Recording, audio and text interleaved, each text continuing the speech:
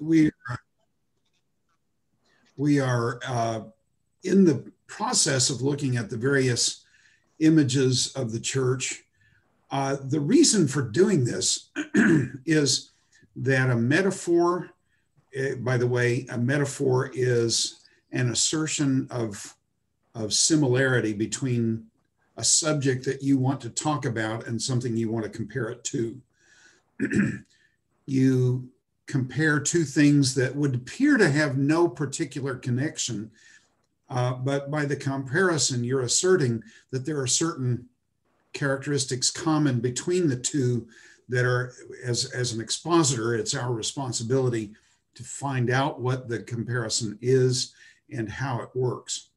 Uh, often a metaphor is strange when it is first given, uh, but then it casts great uh, light on what we are trying to talk about. So we're looking at the metaphors to try to figure out what they're telling us about the church. And I'd like to turn back uh, because I didn't do well in the uh, in, in the treatment of the sheep and shepherd metaphor. I want to go back, and I'm uh, in the PowerPoint. I'm on slide 52. So I'm going to go ahead and share this. I've got a different arrangement of my screen today than I have had. I'm not able to share yet, Brother Timothy, if you could work that out, um, uh, then I can share this, this screen with you. Still not able to share. Um, but if, if, you're, if you have your Bible there, turn to John 10. I want to talk to you for a few minutes about some, some issues in the shepherd sheep motif that bear directly on the nature of the church and especially of the local church. Um, so in John 10, verse 3, let me see if I'm able to share yet. I'm not still not able yet to share. Uh, in 10, verse 3, uh, I read uh, John 10, 3 um, the the gatekeeper opens to this one, and the sheep of the uh, uh, hear his voice, and he calls his sheep by name. Now, for Jesus, that's quite reasonable.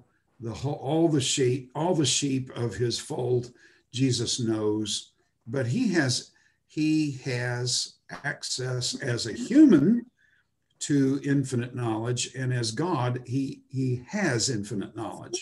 So that's great. But for me, as a leader of a group, I can't know a thousand people. yes, are you with me here? Yes. Does that make sense? Right.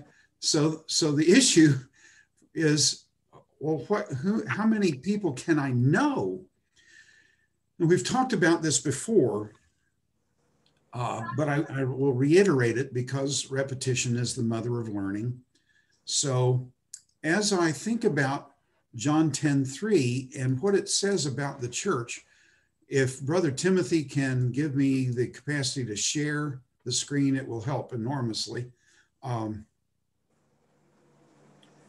uh, sociologists tell us that you can be intimately acquainted with a maximum of about 12 people.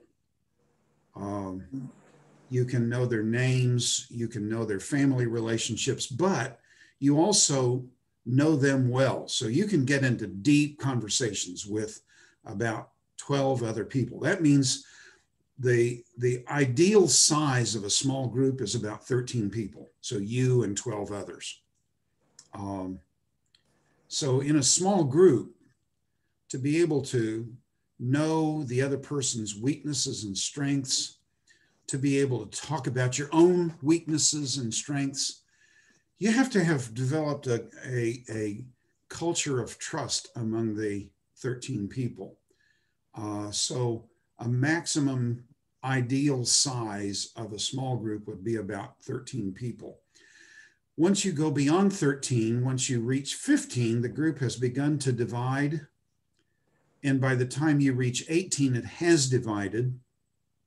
And in a group of 15 or 18, you're intimately re related to, a, to fewer people in that group than you were in a group of 13.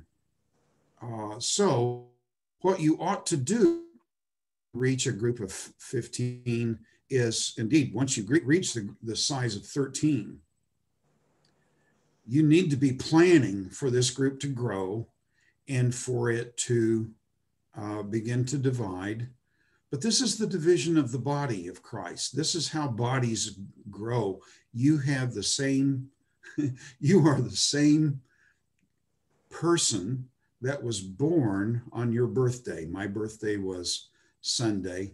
So 73 years ago, I came upon the face of this earth. and I still am the same person I was then, but my body is substantially different because I was, I forget what mother said, I was eight pounds something. I, I've got my birth certificate somewhere, but what, what use is it to look it up now?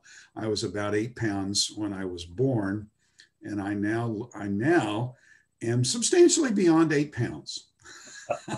so, how did I get there? I got there by the division of the cell groups. Is that true?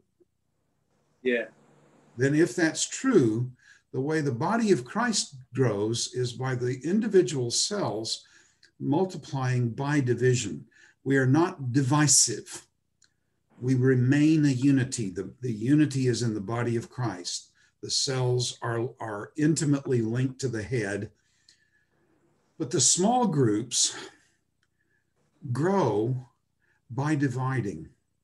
So once you reach 13, you ought to be preparing somebody to become a leader of the next cell group that's going to divide when you reach 13 or 14 or 15 uh, I'm sorry, 14, 15, 16, 17, or 18. At some point there, it will be necessary for the small group to divide.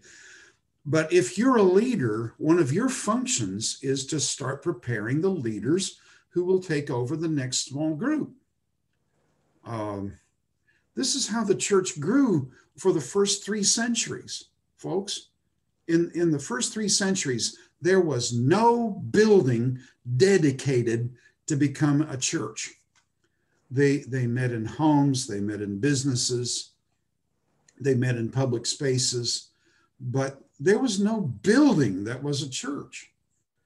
Uh, so uh, the churches were very small.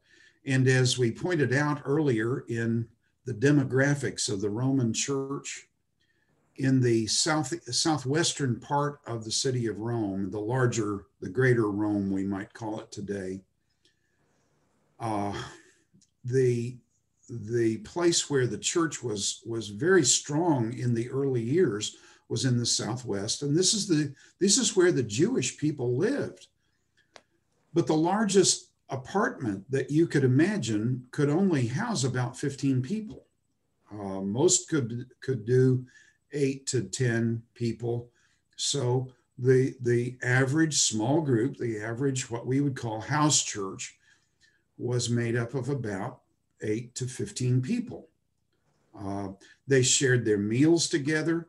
And to be cut off, 1 Corinthians 5, to be cut off from the eating together, you remember this. Yes, no, it, shake your heads if you yes. remember what I'm talking about in 1 Corinthians 5 not to even eat with such a one was to be cut off from daily food because most people lived only a day or two from famine in the first century and to to be cut off from sharing in the in the family bringing together the meal was to be cut off from from nourishment because you might not have earned anything that day and you wouldn't have anything to buy food with so the small group would be uh, about ideally about 13 people.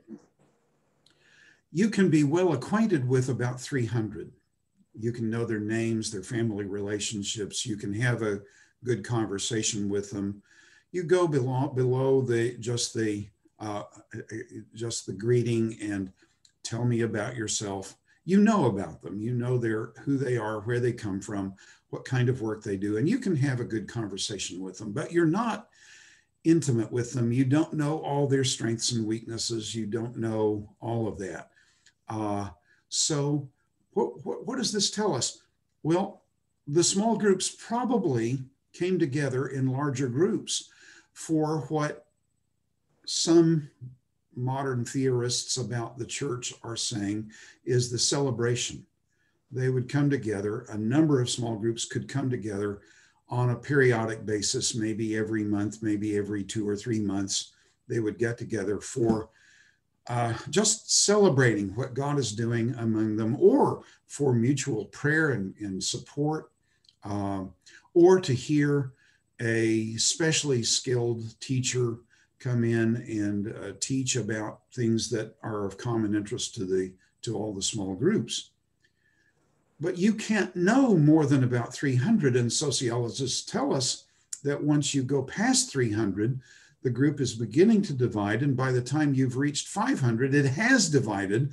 And you know fewer people in a group of 500 than you knew in a group of 300. So the, the maximum size of a, a regional church would be about 300. So I'm, I'm arguing that there are different levels for the church. There is the body of Christ, the church universal, which is today both in heaven and on earth. And that body of Christ um, is known to Jesus, is just not known to us. And so when I come to India, um, I, I meet the body of Christ there already prepared and I come to serve the body of Christ. Uh, and we we recognize our unity and we share that unity among ourselves as we engage in the fellowship that we we have. But I can't know you well because I live so far away from where you are that uh, just can't get to know you well. Um, some of you I know better than others. So there's the universal body of Christ, there is the celebration. This is the gathering of multiple smaller groups for um, observing the whole work of God in a region. Then there is the there are the local groups, what I call the regional church, and then there is this there and then there is the the house church. I would argue, brothers and sisters, uh, especially since you're in India, this will be true. Your family is larger than your nuclear family by, by a substantial margin. Is that true for most of you? Move your heads. Those of mm. you who, whose faces I can see, I see pictures of some of you. I don't see videos of, of some of you, but uh, Dr. Uh, oh. you can you can use the PowerPoint if you need. Oh, I can now. Right, I, will get there shortly. Thank you, brother. Um, so so your nuclear family, the father, and mother, the children get together every day. Uh, maybe the brothers and sisters get together on, on a somewhat more less frequent basis. But when the whole family gets together, there may be uh, tens or 50s or hundreds of you that gather. Is that is this true? Yes. Yes, but you don't do that every day. And yes. you don't do it every week. Mm-hmm. You don't even necessarily do it every month. Might do it every month because somebody's having a birthday somewhere in that period, and it, it, it's appropriate together to get together and celebrate. But uh, if you think in those terms, the the um, the family that we are is a family where we know the names. So back to John 10 3. Um, let me put it now on the screen for you. And I want to share um, the uh, uh, PowerPoint here. So, oh, fish feathers. Now I've lost Fish feathers is a wonderful swear word because there is no such thing as fish feathers in the heavens above, the earth beneath, or the waters under the earth. And so this is my swear word. Um, let me see here how I may make this work for me better. Ah. Now it can work better. Okay, you're seeing the PowerPoint, yes? Is this true? I, I, yes. I, I trust. I trust. All right. The sheep hear his voice, and he calls them. He calls his sheep by name, and leads them out. When he has brought the, all of his own out, he goes before them, and the sheep follow him, for they know his voice. So, one aspect of local church that we've got to take account of is if you can't know the names, it can't be a church. One of the implications of this, brothers and sisters, is that for the, for the most intimate form of the church, the most intimate form cannot grow larger than 13. At the second level, so that would be the house church. At the second level is the local church, which cannot grow larger than 300 because no one can know the names of more than about 300 people and be able to carry out a conversation with them. Am I making sense? Yeah. I attended a church in Dallas that had a, an auditorium that would seat 3,400 people. For Dallas, that was not a mega church. Uh, there was a mega church not far, about seven miles from us. And that mega church had a 7,000 seat auditorium, and they had three to four services every Sunday. I propose to you that the pastor of that church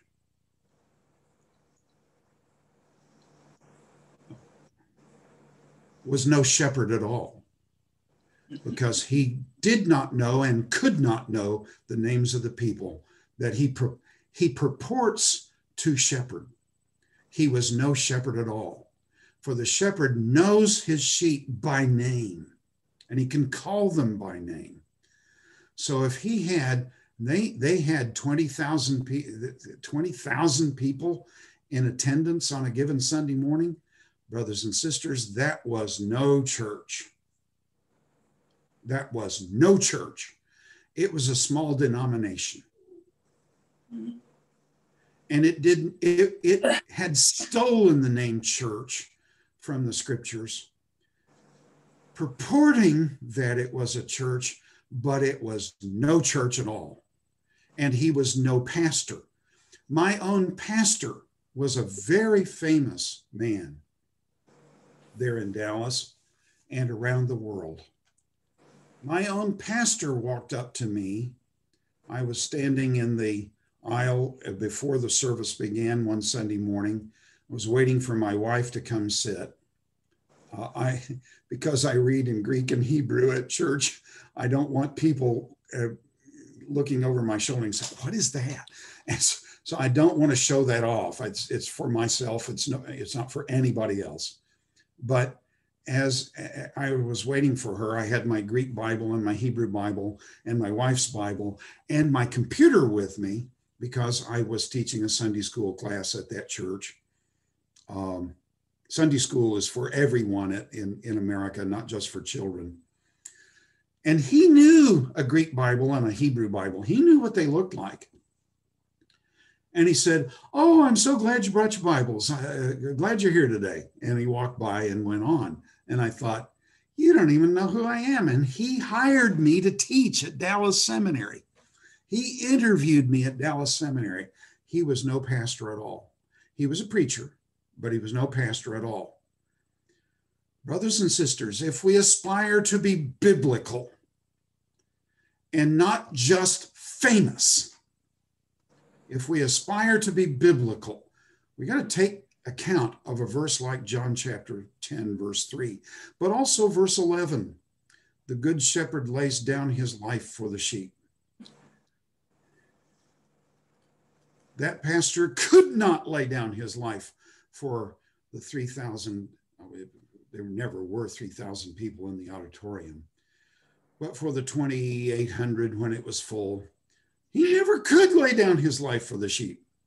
He would say, Well, I lay down my, my life for the sheep by studying and, pre- and preparing well for my sermon. but when I when I joined the church there as a as a Bible teacher, the the staff member who who brought me on as a Bible teacher said, uh, if if you have to go to the hospital. You must not expect the pastor to come visit you at the hospital. He said, If I get laid up in the hospital, he will not, I don't expect him to come visit me. What kind of shepherd is that? Brothers and sisters, this is no shepherd at all. Well, what is a what is a church then? A church is a group of people whom Jesus here calls sheep Brother. Yes. There was some interruption. So can you repeat the statement again? How far back? Just a, one, one minute back. Okay. I'm not sure what I was saying one minute back. uh, uh, the pastor, the, the, the, the staff member who, who yeah, brought me on, the staff member who brought me on to teach mm-hmm. at that church told me, he said, if you get sick and are in the hospital, you must not expect the pastor to come and visit you. He said, If I get sick and go to the hospital, I don't expect the pastor to come visit me. It's going to be somebody else on the staff. Well, brothers and sisters, that's no shepherd at all. The shepherd okay. is the one who looks out for the well being of the sheep. So, brothers and sisters, let's get past this folly of Western church culture that a church of 3,000, 4,000, 5, 6, 7, 8, 10, 20,000 is no church at all. Let's get over that and let's go back to what the Bible teaches and observe that the local church, the smallest form of the church, would be about 13 people. That's ideal. When it reaches 15 to 18, it's dividing and we prepare for it divide by starting to train leadership. The largest form of the local church would be about 300. And those who are leaders should be preparing the church for division by planning and preparing new leaders who will take over if, if the church is practicing the love that the body of Christ ought to practice do, do you notice that we are talking in John 10 right now? John 13, by this shall all men know that you are my disciples when you have love for one another. So, where love is, that group where love is practiced is attractive to people who don't know love. When they see real love, it's attractive. So, it should grow by the sheer attractiveness of the love that we practice for one another for the leaders, laying down their lives, not sacrificing the sheep to feed their bellies, but feeding the sheep so that the sheep love one another. That's attractive. And we're preparing for the group to, to divide like your body has divided. It's not divisive, but it grew by division. It grew and pr- produced a greater unity than it had. So in John 10 11, the good shepherd lays down his life for the sheep. He sacrifices his own well being for the good of the sheep. And verse 14, I know my own, and my own know me. Furthermore, in, in verse, um, uh, well, let me go on here. Uh, so, so we've been talking about the implications of leadership, and the implications for church size right through our, our session so far as we've gone this morning, the or this evening for you. The issues for us are that a mega church is no church at all. Let us get over that. Let's cast this, this off as a as a, a business marketing view of the church, not a biblical view of the church. We are not trying to become a bloated sheep, which is, uh, or a bloated flock, which is unmanageable, which the shepherd cannot know. And let's get to a biblical standard of what the church is. Now, in our discussions, uh, John 21, 15 to 17, here Jesus calls Peter to shepherd the sheep there are a few observations that we might we might draw from this. Shepherding occurs as a result of the disciples' love for Jesus. Shepherding occurs to Jesus' lambs and sheep. And shepherding consists of two primary functions to provide for them, provide them adequate pasture, and to take care of them, uh, of what other needs may be involved, according to um, I'm not sure what 2310 refers to here. Uh, the emphasis in this word may be on feeding the sheep, feeding the animals. Uh, the herd and flock, uh, uh, we are to herd and tend the flocks of sheep or goats. And we may also add the need for protecting the flock against predators. So, oh, this is, this is uh, Acts 20, 28 and following. We may also add the need for protecting the flock against predators, internal and external. And I point out to you in Acts 20, 28, 29, and 30, Paul says, even from your own number, um, ravening wolves will arise, not sparing the flock. So we must protect the, the, the sheep against external enemies, predators in the culture, persecution. But we must, and, and that may mean laying down our life for the sheep by taking uh, execution ourselves, persecution ourselves, and protecting the sheep. But also, we must lay down our lives by getting rid of elders who become predators. And elders do become predators.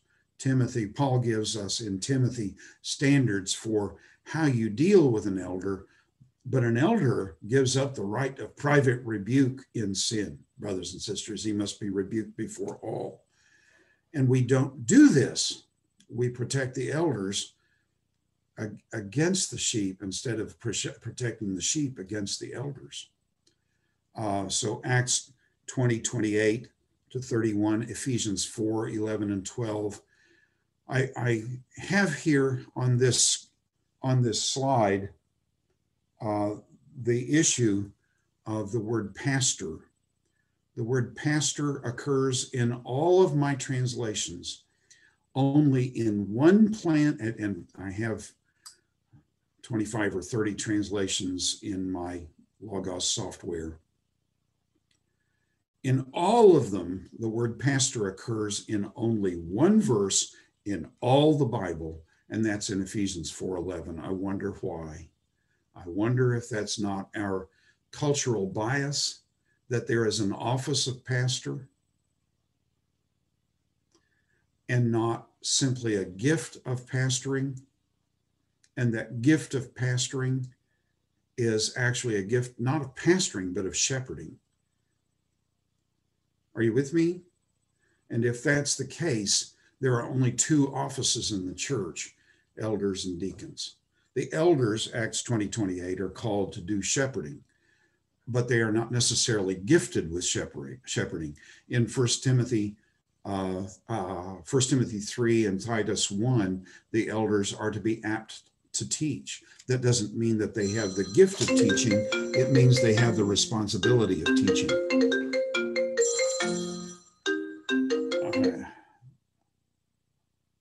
I'm sorry, brothers and sisters, I keep getting these calls about people who are worried about my car and they want to make sure that my car warranty doesn't run out and they want me to they want to help me by letting me spend some more money so i just delay them and put this all away first first peter 5 2 to 4 is another passage uh, that is important in all of this first peter 5 2 I'm turning there. I want you to turn there as well.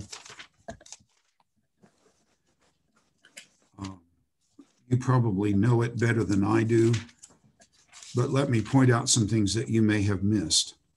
Uh, so he instructs as an as an older elder. uh, to the elders, I exhort the one who am a fellow elder um, and a partaker of the uh, uh, of the a witness of the sufferings of Christ. Verse two, shepherd the flock that is among you, the flock of God that is among you, uh, watching out that seeing to it that you don't do it out of necessity but willingly, in a godly way, not for for shameful gain but um, zealously not lording it over the over the the heritage of God, but being examples of the flock. And I I'm going to stop there, folks. You as leaders are the servants of the servants of the Most High God. You are not there to um, beat the sheep or to lord it over the sheep. You must not become people who are so avid for money that you look for a larger flock so that they will give you more money. You must learn to trust the Lord for the provision and let, let the flock have the food. Um, so they are, uh, First uh, Timothy 5.17 instructs the church to contribute to the elders into into uh, the, the double honor in 1 timothy 5.17 entails the notion as far as i can understand it um, entails the notion that the um, the church is to reimburse the elders in terms of the time spent that they would have what they would have earned if they had been working at their trade the reason I take that view is the similar notion, kind of opposite notion, in Isaiah chapter 40, uh, uh, verse 2, verse 3. Um, and say unto her that, that they have received a double, a double portion for all their sins. Surely that verse of 40, verse 2 cannot be saying that God has punished Israel twice as much as their sins deserve. That would be unjust. So the the Im- the imagery I think must be the double is is and I'm, I'm going to come back to uh, I quit sharing here and I can't figure out how to quit sharing at this point. So I, I can't do it. But if you hold one hand up and put the other hand up against it, the one hand is the double of the first hand. Yes? Does that make sense to you? Move your heads. Yes, thank you. So the the penalty for their sins exactly matches the nature of the sin that's been committed in Isaiah 40. And I think that must truly be the point if the elder is a potter and might have earned a denarius, there it is. There's there's the uh, um, sharing uh, function for me. Let me go to the, uh, I guess this is the best I can do right now. Um, I hold up one hand, I got the other hand up to it. One is the double of the other. So if the elder is a, is a potter, what he would earn for the day as a potter is what the church ought to remunerate when the when the potter elder must take the day off from his pottery to do the ministry that's necessary for the church. So the, the church must put together the, uh, uh, the coins necessary to help that elder live so, so that the useful ministry can continue. So back to uh, our, our um, PowerPoint. We talked about the vine and the branches two weeks ago when we were last together, we had come to the uh, the cornerstone and the stones for the building and the temple of God. We talked about that in some measure. Can you see the PowerPoint where it's legible? Are, are you able to read that in this? Yeah. Okay, yes. thank, yes, thank you. Good. I will I'll make it a little larger so that you can see it even better, perhaps. Um,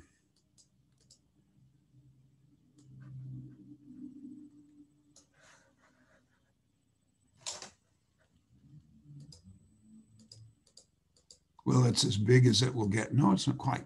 There we now we have it more or less. Um, these are the general passages of scripture where this uh, concept occurs. Um, and uh, they are all worth study. All I can do is point you to them at this point because I must move on to some other material. Um, since we missed last week, I'm not going to belabor you uh, to impose upon you for an extra week unless this is what you want. Uh, so we will we will uh, plan to move on to uh, our final studies in uh, our following weeks here, but uh, 1 Peter 2 5. Um, we talked about two weeks ago. We are the temple of God, and as such, brothers and sisters, when you come to the temple, when you gather as the church, whether it is 13 people or 300 people, when you gather as the church, you are coming before the temple of God. I was in Jerusalem five times in 1997 to 99. And um, four of those times we went up on the Temple Mount. It always was so meaningful to me to go up there, even though the Dome of the Rock is there with the blasphemy of Jesus um, that is inscribed inside the dome. Um,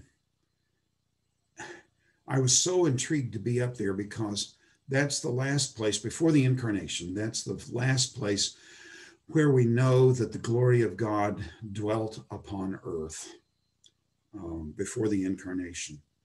And I just felt that I was coming to a holy place and I wanted to treat it with honor because this is a place where God had revealed himself in unique ways. Psalm, uh, Psalm 63, verse 2 David says, I beheld you in the temple. Um, David had never been to the temple, and there, there are lots of issues that, that we would need to spell out to give a full explanation of it. But when he went to the tabernacle, he saw the revelation of the glory of God, brothers and sisters. Well, you coming before those people are coming before the temple.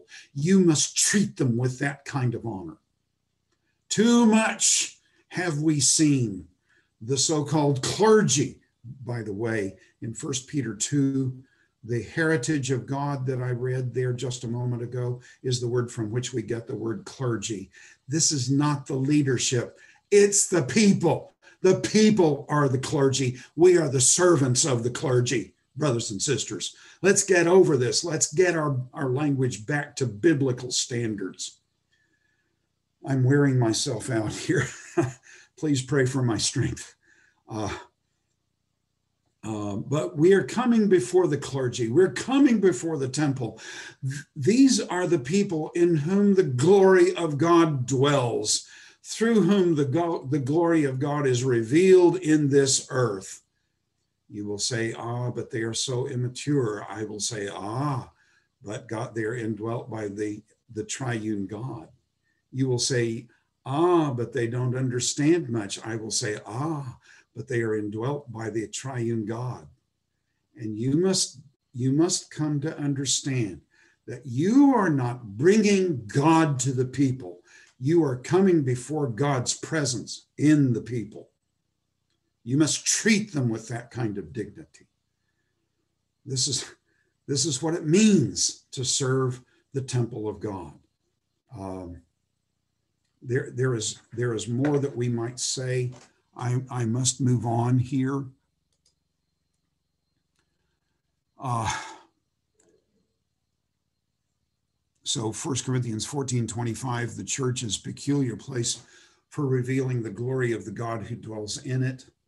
Um, the church is the peculiar place for man to commune with God.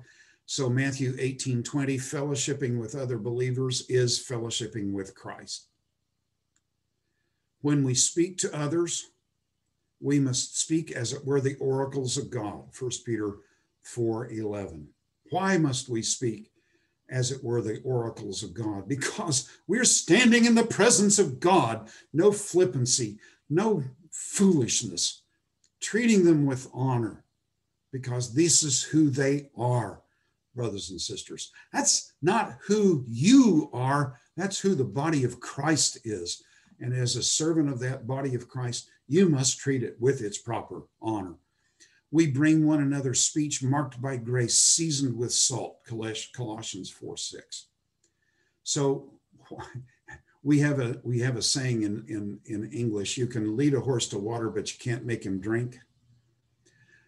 But you can put salt in his feed to make him thirsty.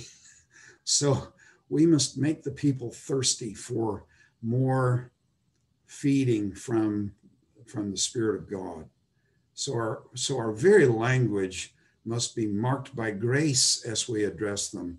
We must not lord it over the flock, but we must treat them with the honor that they are due because they are the temple of God. And finally, we, we address the lost in place of God.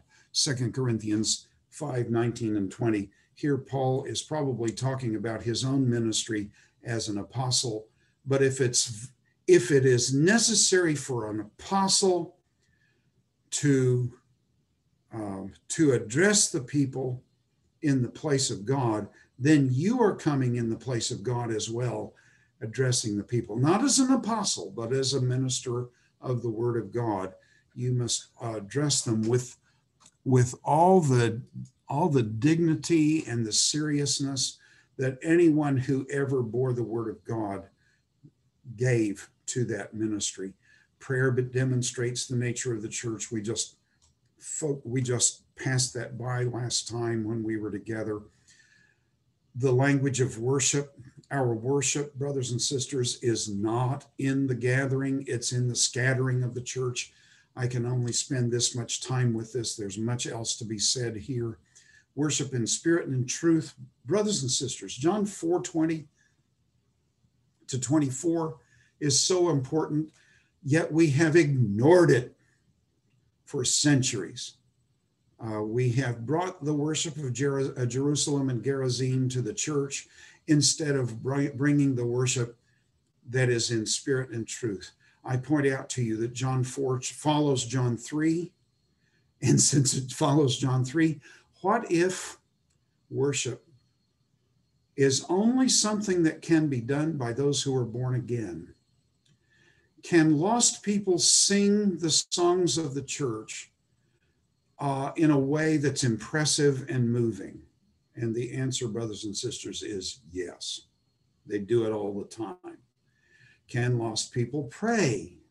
You will say, ah, but God doesn't hear the, the prayers of the lost. That's not my point. Can they pray moving prayers? And the answer is yes, they do it all the time. In fact, it's not even biblical that God doesn't hear the prayers of the lost, because John's uh, Psalm 78, the, the the evil in Israel prayed for bread and God granted the prayer. So quit saying that, the, that God doesn't hear the, the prayers of the lost. Uh, can the lost preach the gospel and lead people to salvation? Yes, because the power is not in the preacher, it's in the word. And if the lost preacher is giving a sound gospel, it can lead people to salvation. So praying and preaching and singing are not worship because they do not depend on spiritual birth. So, what if, what if worship in spirit and in truth depends upon new birth and cannot be done without new birth? Then praying and preaching and, and, and singing are not the essence of worship. Then what is? Well, go find out, brothers and sisters. And furthermore, what does it mean to worship in truth? Well, what if, since this is John 4, what if John 1 comes before that. And in verse 17, Jesus says, The law was given through Moses, grace and truth came by Jesus Christ.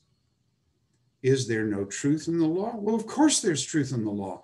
How can you know this? Because the law is given by God. So it's true, but not in the way Jesus is true. Well, what's different between the law and what is in Jesus. In John 6, he gives us the answer. In John 6, um, my flesh is true food and my blood is true drink. Was the manna in the wilderness false? Well, the answer must be no, because the manna was given by God. So it's not true as opposed to false it's complete as opposed to what's incomplete. The manna saved them from death by starvation, but it gave them no eternal life. The food that Jesus will give, if one eats of it, he will live forever. Yes or no? Then what is true is the fullness of the revelation of God's saving purpose in Jesus. Uh, there's a there's a well-known man here in the United States. I, I don't know that he's known well outside. Uh, his name is Steve Brown. He's not universally liked, but I think he's a, a great teacher and, and is teaching the truth. Uh, he really understands the grace of God. But for many years, he taught preaching. And when a young man in a seminary would get up in a preaching class and preach a sermon, a doc, a Dr. Brown would say, young man, that sermon was a great sermon. Boy, what a good sermon that was. And any synagogue in town would have loved it. What he was saying is, you told us what would pass as good teaching in Israel, but you didn't bring anything about the work of Jesus into it. Nothing of the full purpose of this, of the, uh, a full revelation of the saving purpose of God in Jesus. So, true worship depends, I would argue, depends upon new birth and is expressed when the full uh, revelation of the saving purpose of God is encountered via what is given to us in Jesus. So, when I teach the Old Testament, I must teach okay, what does this mean for us as Christians? How does this bear upon us as Christians? What does the New Testament do to this application? So, worship in spirit and truth. This is all I can do in our present study uh, in dealing with that idea. I must move beyond it to the priesthood. We have about um, 25 minutes left, according to my watch. Every man believes his own watch. And so I, I'm going to believe my watch right now that we have 25 minutes left. But the priesthood. So, what are we to say about the priesthood? We began to talk about it in in the old, uh, in the previous session that we had. Priesthood is chosen by God. Priesthood has an ordination with a with a ritual of ordination, the washing of the whole body, the the the robing, the anointing with oil and a, in a threefold sacrifice. There is the sin offering, would much be much better be called a purification offering than the burnt offering, uh, which is a ram making atonement. And third, the burnt offering, another ram, which is the sacrifice of ordination, purifying the priesthood for their ministry. And I, I should add here that we have this same kind of thing happening for us. We have been chosen by God. We therefore are a priesthood. There is an ordination ritual. We have we are engaging in that, Ephesians says, with the washing of water by the word. uh, there is a robing. We are we are clothed with the righteousness of Christ. There is the anointing oil. We have uh, First John chapter two says we all have the anointing there is the threefold sacrifice, all made all at once in Jesus, who is the purification offering, Hebrews chapter 9. He is also the, uh, the atoning sacrifice, Romans chapter 3. And he is the ordination sacrifice that makes it possible for us to serve as the priesthood. Uh, the priesthood is appointed by God they could be priests because of descent from Aaron. Holiness was there so, so as not to defile the name of their God, but holiness was not a, a matter of morality. uh, um, who were the sons of, of, of Eli? I can't come up with their names. Um, help me out. Ophni and Phinehas. Hophni and Phinehas, yes. Uh, Hophni and Phinehas were priests. They were holy, but in English and America, we would call them holy terrors. they, they were holy in that they were set apart for the service and worship of God, but they were not moral. They were profoundly immoral. So they were holy and immoral. How can this be? Because holiness for the Levitical priesthood was a matter primarily of, of ritual purity, not of moral purity. Um, uh, so they were not to marry a, a prostitute or a divorced woman. Uh, by the way, the, the elders are uh, prohibited from doing such things as well. There is no de- physical defect in them. Uh, Leviticus 21 gives the qualifications, physical qualifications for the priesthood. It also gives the physical uh, qualifications for the sacrifices. They are identical. There are no moral or intellectual or spiritual qualifications for the priesthood. There are only physical qualifications for the priesthood, as there are no moral, moral, or spiritual or intellectual qualifications for the sacrifices. They are all dumb oxen. So, so you could have a dumb ox as a priest because there are no moral, spiritual, or intellectual qualifications for a priest.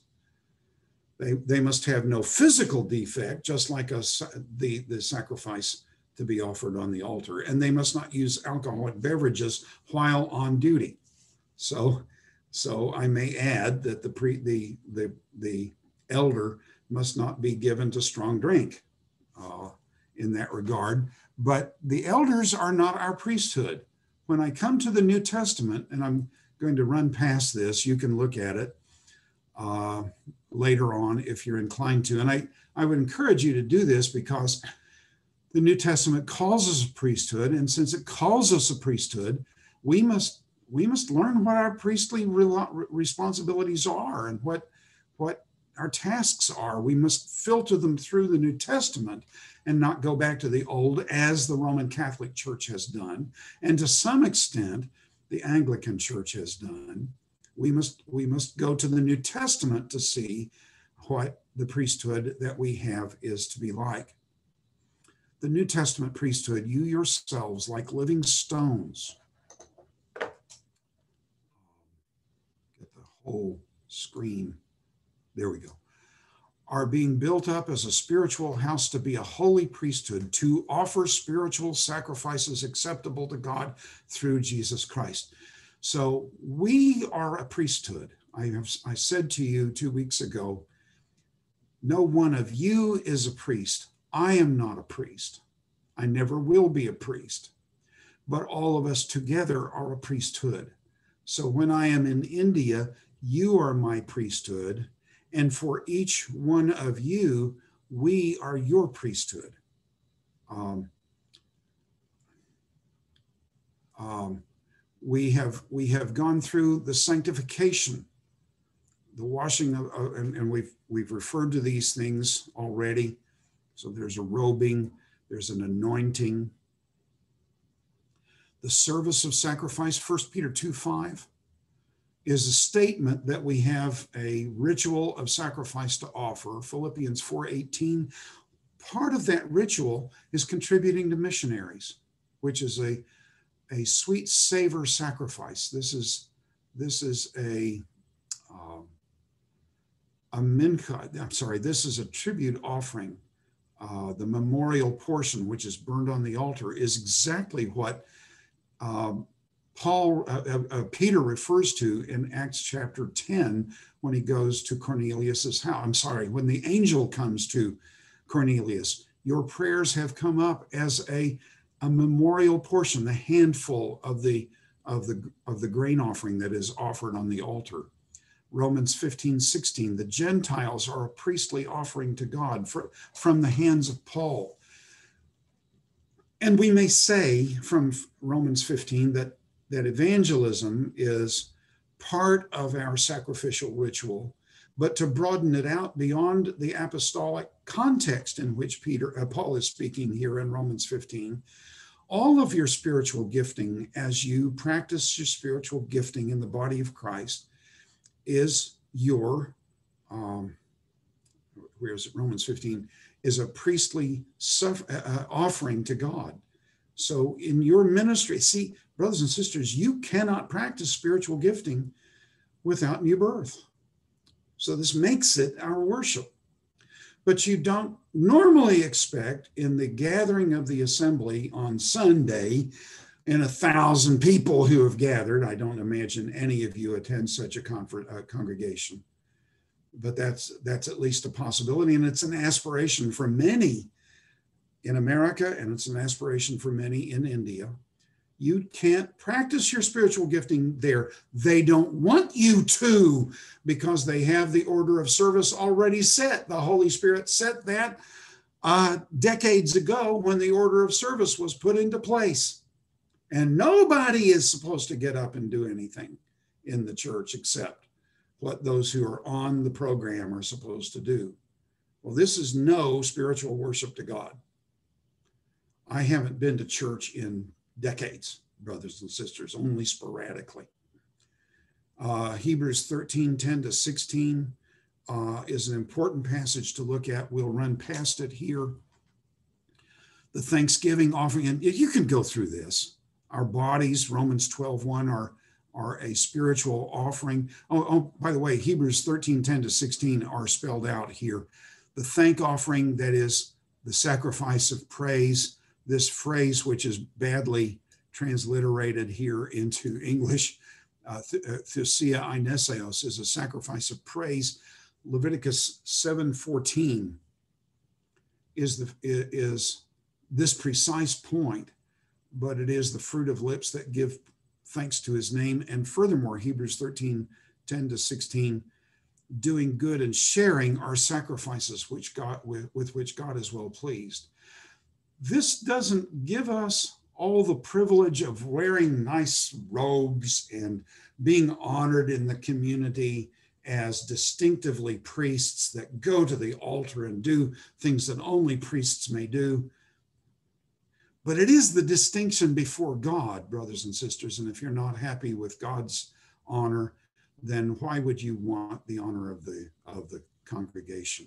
Romans 12, 1 serve each other in our spiritual gifting, Romans 12, 3 to 8. Love, these are all the acceptable sacrifices to God that we do as we love one another without hypocrisy in Romans 12, 9 to 13, 10, and accept others who differ with us as Christ accepted us in Romans 14, 15, at 1 to 15, 13. These are our sacrificial rituals they don't put us on a pedestal. They don't get us honor in the in the community. But they are honor before God. And you have to decide fairly soon if you've been if if you find this to be the teaching of the word of God. If you don't, by the way, notice that we are not Israel. Israel has a priesthood, the church is a priesthood. So if we are a priesthood, not we don't have a priesthood, then you're going to have to decide whether you want to be Israel and have a priesthood up there lording it over you, or whether you want to be a priesthood and be the body of Christ, living out the imagery of the priesthood. Our ordination sacrifices are spelled out here, the service of proclamation, much more here that we could go into. Now, I'm weary enough, and we have about six or seven minutes left, that I'm going to stop. Do you have any questions you'd like to ask? I have harangued you, and I've, i have about used up all my energies. I, by the way, walked 4.8 uh, kilometers this morning, uh, and so that also has has made me a little less uh, uh alert. It should have stirred up the blood, but it stirred up weariness. So, uh, do you have any questions?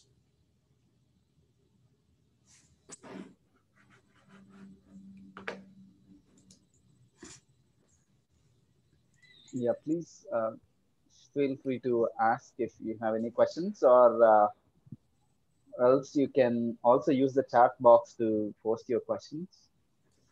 Uh, thank you, Dr. Allman, for the wonderful insights.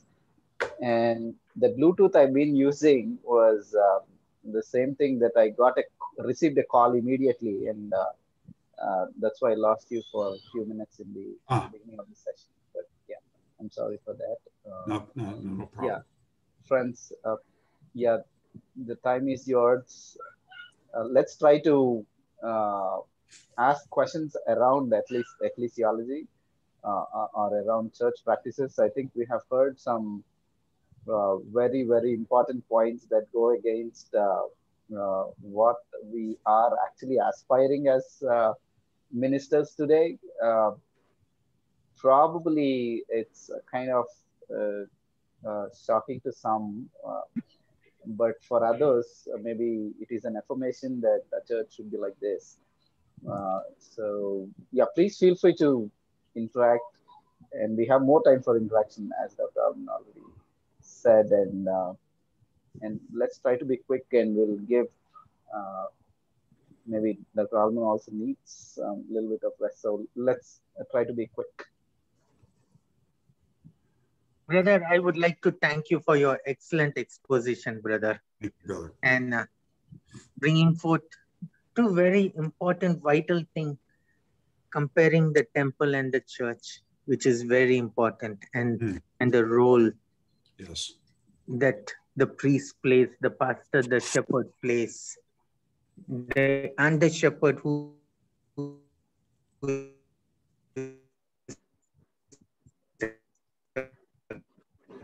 accountable to the chief shepherd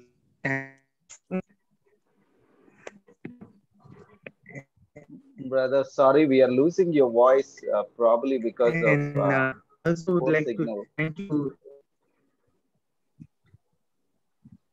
poor signal. Are you able to hear me now? Better. This statement is good. Are you able to hear? Okay. Oh. Yes. Yes. And, now, second now thing, yes. Yeah. No. Second thing that I really want Brother, sorry. Uh, uh, I think you, you should type it. Maybe okay, okay, I will do that. Chat, sorry. Oh, uh, sorry. Uh, I think the first one was mostly the appreciation. So uh, you don't. Yes. Uh, uh, if there is a question, we'll pick it up from the chat box. But uh, there is something asked by RK. He says, "You mentioned that if the congregation is above 300 members, it it cannot be considered as a church." Uh, oh no, no, that's not what I said. no. Yeah, go ahead. Was yeah, there more so, to the question? I, I think it's more of sarcastic question than a, a question, I would say. Uh, okay. So they were saying if it is not a church, then what should we call that gathering? I, I would call it a, a regional church. um, there are a few places in the New Testament, and I should have them at hand. I don't have the, the references. But there are a few places where Paul can talk about the church at Thessalonica or the church at Ephesus. Uh, in fact, he calls together the church, the elders of the church at Ephesus in Acts 20. Um, so, is there just one congregation or are there multiple congregations? Since all Asia heard, all the whole province heard the gospel while he was there in Ephesus, I think it, it would be there's such a large group of people that they would normally meet on a, on a house church level, but periodically they would meet on the larger level. But it's all the church. Wow. Yes. Uh, so the same person is asking, is there a difference between priest and pastor? Um, a priest is what the body of Christ is, the church doesn't have a priest, it is a priesthood. The church doesn't have a pastor either, it has the gift of shepherding. Wow. Another question. Uh, brother, uh, there is brother Anthony who raised his hand. Probably he wants to ask a question. After that, the next uh, person can ask. So please go ahead, Brother Anthony, if you have any question that you want to ask. Uh, good morning, uh, Dr. Uh, good, morning. good evening to you. okay. Um, my question is straight away. Uh, there is a tent started in India. Some people sitting in one place and telecasting and -huh. saying, I think probably might have heard about it this earlier also. Can yes. we, I don't know what type of church we should call it. a COVID church. COVID church. Yeah. Uh, it, it's now not safe for, for uh, these large gatherings. And so uh, doing these doing these things is necessary. What we probably must do though in the process of having these um, online services is to assure the people the body of Christ must come together. The body of Christ must come together. The body of Christ must come together.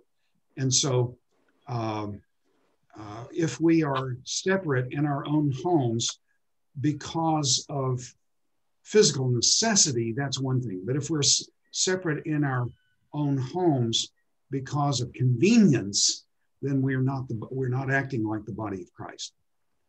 So um, here we're doing it to protect one another in COVID. But um, uh, the church I attend has started uh, open meetings now at home at the at the, the at the um, uh, facility, but people are still attending online. Some of them of necessity because of age, uh, because of, of infirmity, but but but many of them, some of them at least, are doing it because of convenience, and that's just not church. But actually, brother, what brother Anthony is asking, I think, okay. is about uh, some people. They are staying in a big city and speaking at a, they giving message which is telecast to small small groups in different places. Yes. So yeah. The past yeah, is not because of COVID, but yes. this has become a fashion. Yes. Uh, because this man, uh, he thinks that he's a big man. He yeah. doesn't sit in a small uh, town. He goes to a big mm-hmm. city yes. and he speaks from there yes. Uh, on a common this thing. So people sitting in different places, uh, small towns, they'll, they'll watch him on the screen so all these groups which are did and you know scattered in different places are expected to be a church. That's what I think he means, uh, Anthony means. Yeah, yeah, yeah, exactly, exactly. Okay, thank you. Thank um, you. Thank you. Yeah, the issue there. I teach a course that has um, uh, with Dallas Seminary. I'm responsible for a course that has 100 100 plus people in it one of the members of the class is in Afghanistan. There are those who live in Australia and New Zealand. I call that a class, but I don't call it a church. It's not a church. We're not fellowshipping. We're not sharing life together. Okay. So there is no shared life, there is no church. Yeah. Okay. Thank you. Thank you so much. And one more question, if you don't mind. And uh, nowadays we are uh, gathering uh, uh just like virtual. Uh, uh, we are we're having virtual meetings on yes. Sundays. And uh, is it right or wrong to break the bread uh, and white uh, uh in in their own in their own homes? People are families are gathering in their homes, and is, is it uh, can we do it or not? Did you get my point? Yes, I do. Yeah. Um, yeah. First thing is, if there are no pastors, um, then who's ordained, who's qualified to do it? Well, you would say, okay, but there are elders. All right, all right, that's fine. But where in the scriptures does it say that the elders must serve the, the elements of the Lord's Supper? Yeah, where, where is any teaching about how the specific method of doing the Lord's Supper is to be carried out? Well, there isn't any. Um, it appears to be uh, when they shared food together, Acts chapter 2, so if that's so, who who breaks the bread at the beginning of a meal? Well, it's the father in that culture.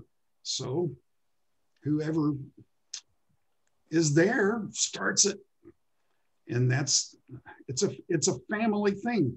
When the fa- when the family of brothers and sisters gets together, then the family does the Lord's Supper. Uh, and if that's my wife and me sitting at home because of COVID, because we're elderly now and, and we have to be more careful about these things. Uh, so if that's what we're doing, then we can have the Lord's Supper. Um, if if it's my children are gathered with us and we want to have the Lord's Supper, we have the Lord's Supper. I, I don't see any any restrictions. This is something the church has imposed. It's not in Scripture, brother. You can't find a place where it's in Scripture. I, have studied the Lord's Supper uh, a lot. Okay, okay, okay. Thank you. I got it. Yes, sir. Thank you. So yeah, uh, yeah, uh, yeah. This will definitely raise people's eyebrows now. Yes, it will. Uh, let will uh, people keep thinking about it. Brother Rajesh, please go ahead. Yeah. Good evening, uh, Dr. Allman. Uh, yes. During the course of your explanation, you have mentioned that people are the clergy and we are the servants of God and His yes. people. Yes. That's a great and eye opener. Oh. And uh, in a nutshell, that the truth of the church is revealed. Now, in fact, it's not being followed. No. People are saying we are God's servants, but they are not uh, uh, serving the people of God in the way it is asked to be. So can you show some light on that? Uh, people are the clergy and we are the servants of God. Yeah. Well, I think you've said it as well as I can I can do. I don't know that I can improve on what you just said. Um, we've got to rethink altogether what leadership is. I remind you, um, We've said this before, but I remind you of what Jesus said He who would be first among you must be servant of all. So if, yeah. if I'm coming in as, uh, um, in fact, Jesus says this, doesn't he? You call me, um, what does he call, uh, what does he say, master and, and, and something else. I can't remember what he called it. Uh, you call me master, and, and it, it's well that you do so, for I am, but I am among you as one who is a servant. Um, so that is the pattern. Jesus' pattern of leadership is the pattern we must follow. He laid down his life for the sheep. We must lay our, our lives down for the sheep. Yeah. Uh, okay. So thank you. Yeah. Somebody was asking about uh, the uh, importance of dressing and uh, the pastor. Of, of what? Is there a necess- dressing? Uh, oh, way dress. okay. wear uh, clothes.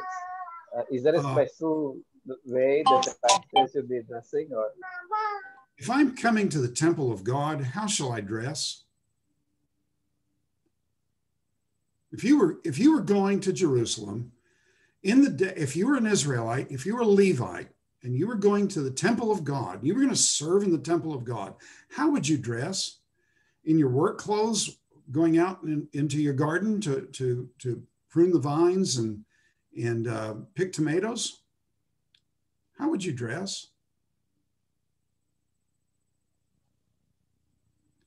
Well, how should we dress when we come before the temple of God? I ought to honor the people by my dress.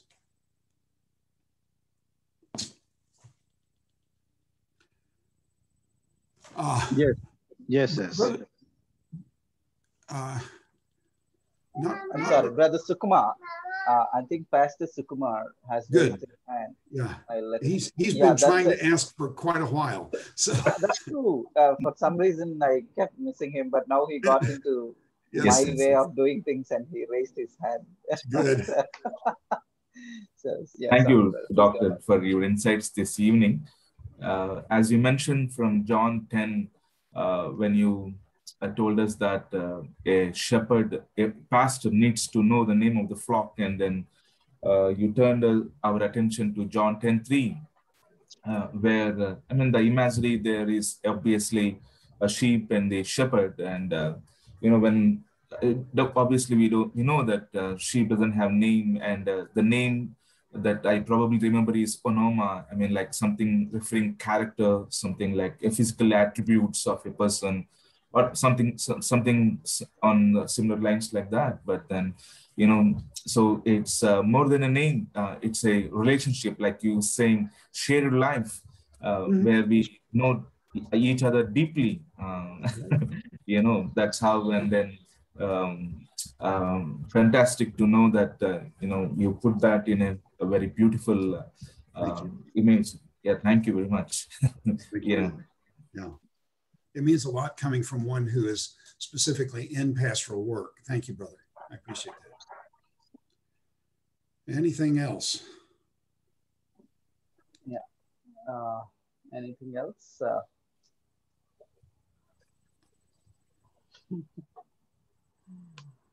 Well, uh, I was just wondering. Uh, uh, yeah, there is little that we can glean from the scripture as, as to the practice of distribution of the elements for sure. But is there a danger uh, when we just let it loose and um, say, have it anywhere, anywhere you want? Uh, I, am more concerned about the reverence that people would have for it, and be, because we have been using it in a setup uh, where we uh, really uh, uh, kind of honor the thing as part of the worship. So I'm just wondering if uh, there is any part of reverence is being compromised or it, it's kind of difficult even for me to uh, think about that at all?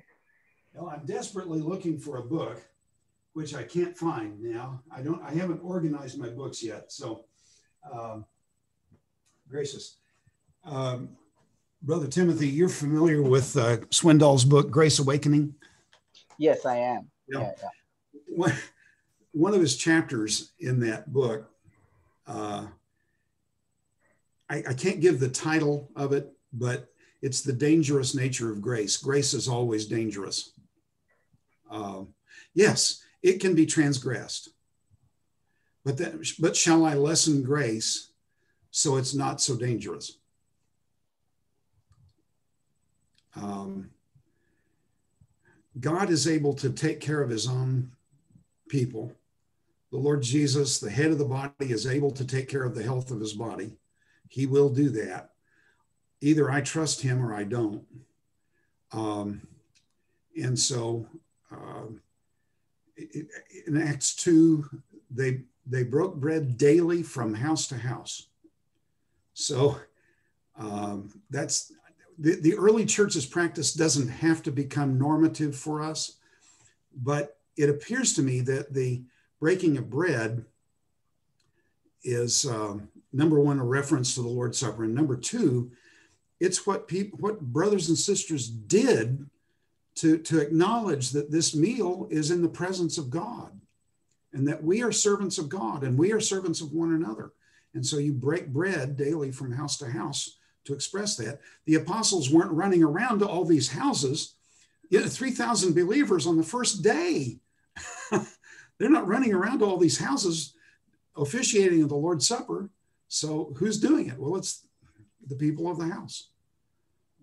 I'm personally feeling you, you can uh, share your thought also, but uh, I'm just thinking maybe if it is within the community, if the celebration is within the community, uh, maybe it, it, gives us the boundaries that uh, uh, are probably yes. required. Uh, oh, then, yeah, that raises an interesting issue. Um, if you have house churches, uh, normally speak.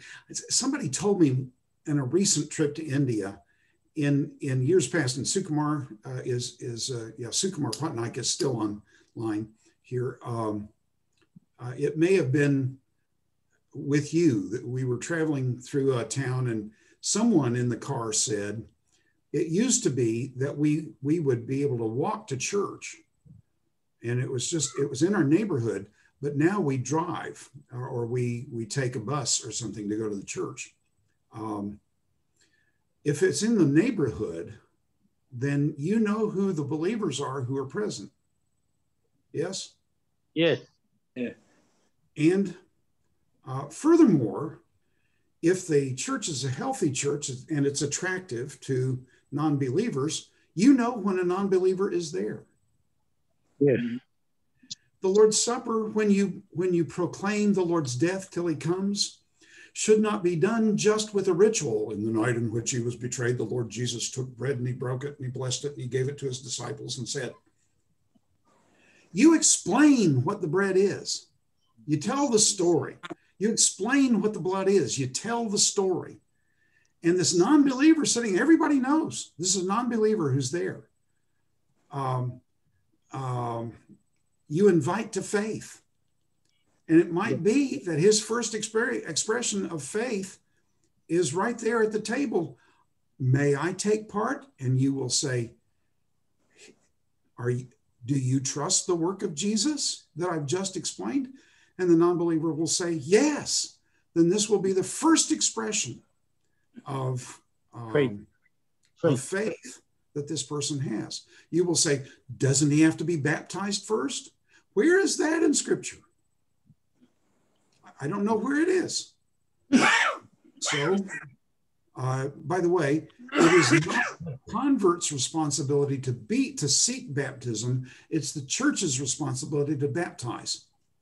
Um, so Matthew 28, 19 and 20, baptizing them, not not when they come seeking baptism, so you baptize them. Do, do you follow this? So um, so perhaps we would take the man out and baptize him immediately and then let him take part in the Lord's Supper. But but the, the point is that that it's um, it may become actually the place for the first expression of faith uh, that this this person's ever ever done. Wow, wow, yeah, uh, yeah. I am um, sometimes it is difficult for me to uh, kind of digest this particular thought, even though yes. my theology pro- uh, is straight in some way. But uh, practically, I, I, do find difficulty because there are certain groups that are, uh, uh, like you said, if if you believe in what is proclaimed, the story that you have just heard. Uh, then that's fine, but if, if, if somebody is offering it right in the uh, right at the entrance, like a brochure. Uh, if they are handing over the large table without uh, explaining the meaning, right. I have a problem there. So uh, that's what is happening in certain settings, especially yes, in the yes, states. So yes. uh, that's what uh, causes me to worry whether uh, some form of communi- community guidelines would help. In, in, our doctrine of the Bible should be a guide to us. God never did anything without explaining it and typically explaining first what was going to happen. Hmm. So uh, he didn't do the plagues before he explained what the plagues were going to mean in Egypt. See, Good. so when we do the Lord's Supper, when we do baptism, we explain before what we do so that people who participate will understand it. Excellent. Um, this is why I'm uh, writing this book on the Lord's Supper. So we'll have a lot of different facets to look at and have different ways of explaining it. So go ahead, yeah. brother. You, are going to say. Friends, uh, for you to uh, kind of uh, be informed that Dr. Allman has actually written or writing a book on celebration of the Lord's yeah. Supper. So is not speaking out of uh, just uh, uh, uh, just to answer the questions, but he's really really struggling with the text. So I just want to tell you that um, as a as a student of his. Uh, probably we'll close the day with uh, the final question from Brother Rufus, as it's already nine twenty-eight here, but. I'm more concerned about Dr. Allman um, because he was he just mentioned about his sugar levels. Yeah, please go ahead. Uh, good evening, Dr. Allman. Good evening. Thank, thank, thank you very much for your uh, uh, inputs to us. I just wanted to, you know, I, I totally agree with uh, what all you have taught today. Uh, I just wanted to point out that there's a kind of a uh, fear psychosis going on in church settings, especially when it comes to pointing out or trying to lovingly uh, correct some of the uh, doctrinal mm. misinterpretations or yes. things like that because you know basically it is all summed up as thou shall not touch the anointed of the lord so that's where uh, there is a lot lot of uh, blockage uh, uh, uh, going on because we are not able to have a smooth uh, kind of a, relationship with the shepherd. So I wanted to know your comments as to, you know, because uh, I don't know about the other countries or the places, but basically I feel in India, it's, we are more prone to be, you know, controlled by this fear psychosis that yes. you know, we might uh, get into trouble uh, if we are, you know, trying to question the anointed of the Lord. so kindly. Think, yeah, I thank you for bringing that up. This it's interesting. First time I was exposed to that idea was over 50 years ago. So it's it's not new. It's been around quite a while. Um, yeah. Uh, we have just seen that all the body of Christ is the anointed of the Lord. and the elders are the servants of the body of Christ. so they are not usually, unusually the anointed of the Lord. They are the servants of the anointed. So, so that's just fundamentally flawed. It is contrary to the scriptures. It is man seeking honor and position and glory instead of, of seeking to be honored before God. We want to be honored before men and protected against men. Much of the corporate um, the corporate structure that the church now has is aimed at protecting the church against its members. Instead, Jesus says we got to protect the, the members against the leaders. Acts 20, 28, 29, 30, 31. So. Thank you. Yeah. Uh, th thank you, Dr. Allman. Thank you, uh, sir. Thank you. Thank you for the answer. Uh, good, good to see I think we, Yeah, I, I, think we got a lot to chew for this week and probably for months, actually. Um, and uh, and the good thing about the technology is you get to go back to the video again if you want to. Uh, we are trying to post the videos immediately uh, within the week uh, for your access. Um, so somebody has posted this helpful uh, uh, acknowledgement that whatever Dr. Allman was pointing to was in chapter three of the Grace Awakening, and the title is "Isn't Grace Risky?" So that's the uh, probable yeah. chapter Dr. Allman was yes, referring to. Precisely, thank you.